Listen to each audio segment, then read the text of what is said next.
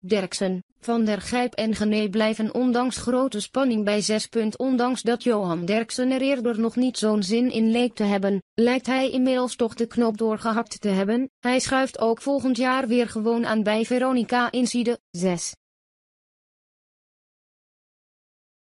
Veronica Inside na zomer terug op tv.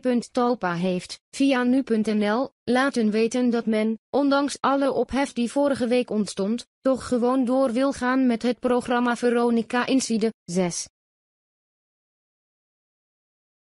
En nog belangrijker, dat Johan Derksen, René van der Gijp en Wilfred Gené aanblijven in hun huidige rol als respectievelijk analisten en presentator. En dat is toch best wel bijzonder. Niet enkel omdat Johan eerder dus nog aangaf zijn twijfels te hebben, maar ook omdat Wilfred gisteravond bukken met kritiek over zich heen kreeg. Alsof ik Johan aan het roosteren was. In de meest recente radio-uitzending van Veronica Inside reageerde Wilfred op de racisme-uitzending van 6.